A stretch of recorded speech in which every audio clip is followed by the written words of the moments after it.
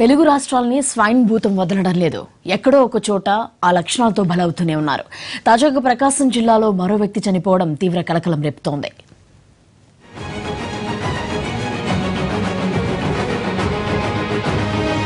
చలికాలంలో కోరలు చాస్తున్న స్వైన్ మహమ్మారి నిలువున ప్రాణాల్ని హరిస్తోంది.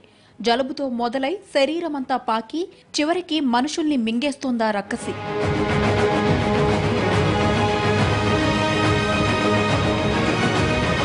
తాజాగా ఒంగోలులో స్వైన్ ఫ్లూ లక్షణాలతో చికిత్స పొందుతూ ఓ వ్యక్తి చనిపోవడం తీవ్ర అలజడి రేపింది. జరుగుమల్లి మండలం వావిలేటుపాటుకు చెందిన బ్రహ్మయ్య స్వైన్ ఫ్లూ లక్షణాలతో కొన్ని రోజుల క్రితం ప్రకాశం ఆసుపత్రిలో చేరాడు. అయితే చికిత్స పొందుతూ బ్రహ్మయ్య నిన్న చనిపోయారు. సరైన చికిత్స అందించకపోవడం వల్లే అతడు చనిపోయాడని ఆరోపిస్తూ అతడి బంధువులు ఆందోళనకు దిగారు. డాక్టర్లపై చర్యలు తీసుకోవాలని డిమాండ్ చేశారు. అయితే పోలీసులు రంగంలోకి దిగి వారిని శాంతింపు చేశారు గ్రామానికి చెందిన విడతల బ్రహ్మయ్య వయసు సుమారు నలభై సంవత్సరాలు ఉంటుంది. అను వ్యక్తి పద్నాలుగో తారీఖు రాత్రి సుమారు పదకొండు గంటల సమయంలో అనారోగ్యంతో మన ప్రకాశం హాస్పిటల్లో జాయిన్ అవ్వటం జరిగింది.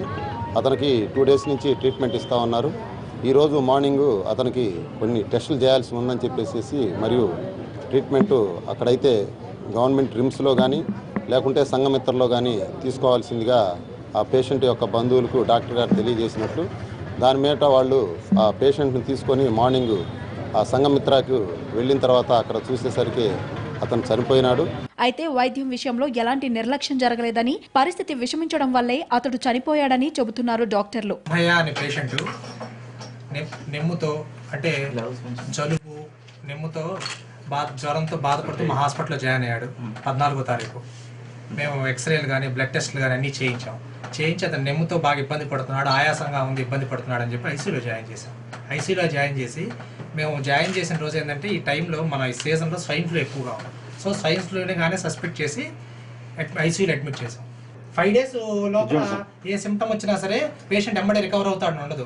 మరోవైపు ఇదే ప్రకాశం జిల్లా ఇంకొల్లు మండలాన్ని ఇటీవల స్వైన్ ఫ్లూ హడలెత్తించింది. పూసపాడుకు చెందిన రామకృష్ణ అనే వ్యక్తి స్వైన్ ఫ్లూతో చనిపోయారు.